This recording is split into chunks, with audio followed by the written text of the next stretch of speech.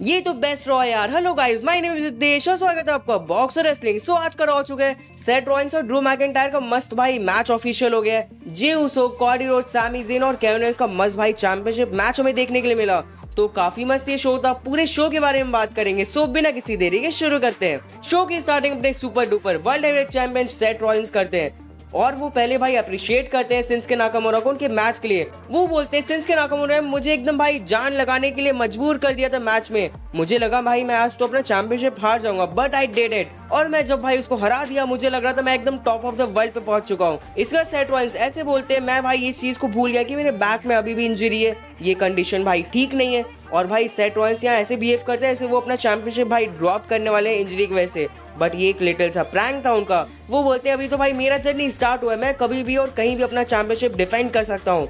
तब यहाँ ड्रू मैकिन आ जाते हैं। और वो भाई कुछ बोलते नहीं है पहले, लेकिन सेट रॉयल्स अपने से बोलते हैं, मैं देखो एक फाइटिंग चैंपियन हूँ, तुम्हें भाई मैच चाहिए ना चैंपियनशिप के लिए तो मैं तुम्हें मैच देता हूँ। ड्रू मैकिन बोलते हैं, भाई तुम रिलैक्स करो, तुम अपना पार्टी करो। तुम जब हंड्रेड परसेंट फिट रहोगे, तब मुझे मैच चाहिए क्राउन जूल में। रॉयल्स यहाँ फ़ैन से पूछते हैं फ़ैन इस चीज़ पे चीयर करते हैं तो वो इस चैलेंज को एक्सेप्ट कर लेते हैं। इसके बाद फिर ड्रू मैकिटायर यहाँ से जाने लगते हैं, पीछे से आके डेमियन प्रीस रॉयल्स पे अटैक कर देते हैं। Dominik Money in the Bank briefcase भाई कैश इन करने के लिए लाने वाले होते हैं। लेकिन ड्रू मैकिटायर उनको बीच में ही रोक देते हैं और ब्रीफकेस उठा के तो भाई भारी फेंक देते हैं। और इधर सेट रॉयल्स भाई कैश इन से बच जाते हैं ड्रू मैकिटायर की वजह से। नेक्स्ट फिर हमें शो में देखने के लिए मिलता है आईवर वर्सेस कोफी किंगस्टन का वाइकिंग रूल्स मैच पिछले कुछ टाइम से डब्ल्यू डब्ल्यू हमेशा ये मैच भाई करा रही है। मैच सही था रिंग में भाई पूरा वोपेंस था, ये दोनों उससे काफ़ी ज़्यादा अटैक्स भी करते हैं। कोफी यहाँ पर एसओएस भी लगा देते हैं आईवर को बट आईवर इसमें किक आउट कर देते हैं। एक अच्छा स्पॉट था मैच में जहाँ आईवर को टॉप रोप से कोफी किस्टन टेबल पे इस्लाम लगा देते हैं। इसमें भाई वलाला भी अटैक कर देती है कोफी किस्टन के ऊपर मैच के बीच में। लेकिन जेवियर वुड्स भाई कैसे न कैसे कोफी किस्टन को इन सब चीज़ों से बचा लेते हैं। इनमें आईवर भाई टेबल पे इस्लाम लगाते हैं, कोफी किस्टन को मून शॉट लगाते हैं और कोफी किस्टन को इस मैच में हरा देते हैं।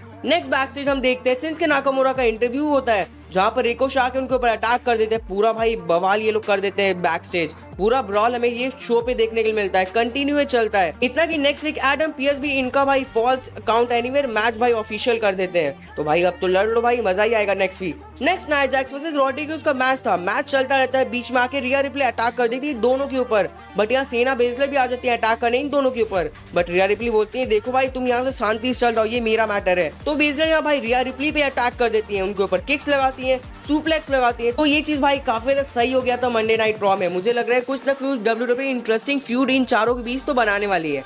Next undisputed tag team champions Cody Rhodes और जियो रिंग में रहते हैं। माइकल को अगेन यहाँ वही क्वेश्चन पूछते हैं जो फ़ैन भाई पूछना चाहते हैं कॉडी रोड से कि तुम्हारे क्या स्टोरी फिनिश हो गया चैंपियन बनने के बाद?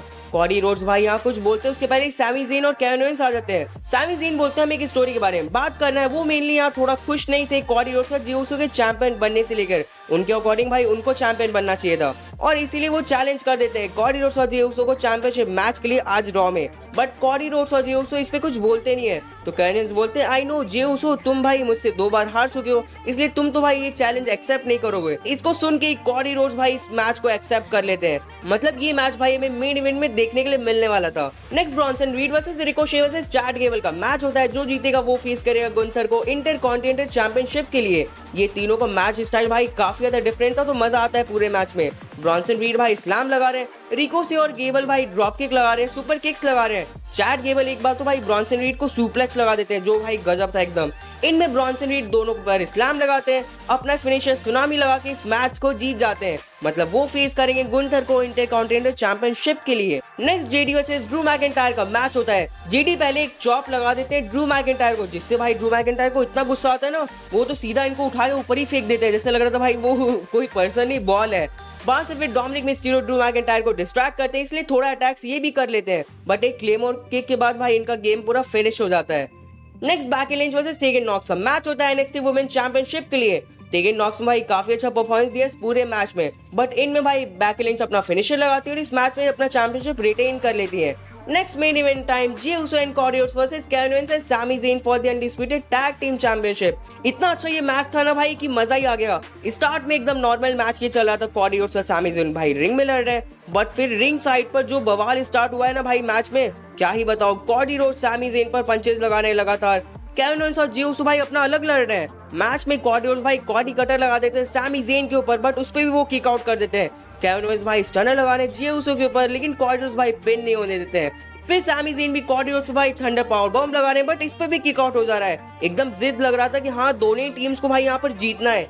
एक मोमेंट पर फिर रिंग में जे उसो और कॉडी रोड्स भाई कंटिन्यू सैमी जीन और केओनेस के ऊपर सुपर किक लगाते हैं और फिर कॉडी रोड्स के साथ वो मिलके क्रॉस रोड लगाते हैं और पिन कर देते हैं एंड अपना चैंपियनशिप यहाँ रिटेन कर लेते हैं। आफ्टर दैट सब मेंबर्स भाई हैंडशेक करते हैं एंड फाइनली केविन ओमेंस भी हक करते हैं जे उसो को। तो ये चीज़ भाई काफ़ी ज़्यादा मस्त लगा। काफ़ी लविंग मोमेंट था ये रॉ का और शो यहाँ खत्म हो जाता है। सो आज का वीडियो तक था। वीडियो अच्छा लगे तो लाइक करिए सब्सक्राइब करिए। ऐसी अमेजिंग वीडियोस के लिए रॉ तो भाई ओवरऑल मुझे काफ़ी अच्छा शो लगा।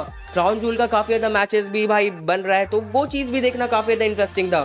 सो so, आपको पूरा शो कैसा लगा कमेंट्स आके ज़रूर बताना। सो so, मिलते हैं अपने नेक्स्ट वीडियो में हम जल्दी। Good bye